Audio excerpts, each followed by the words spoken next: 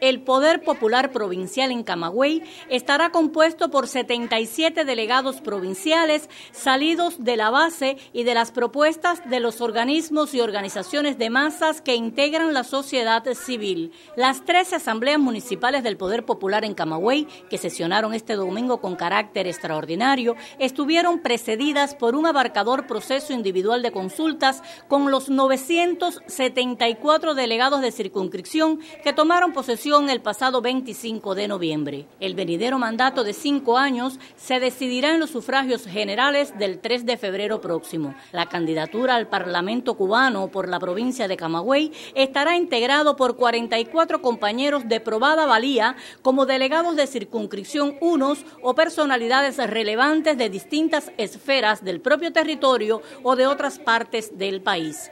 Las comisiones de candidatura en apego a la ley electoral cubana conformaron las propuestas de los 77 precandidatos a delegados a la Asamblea Provincial y los 44 al Parlamento cubano en demostración de una verdadera democracia participativa. Rosa Blanco Ramos, Televisión Camagüey.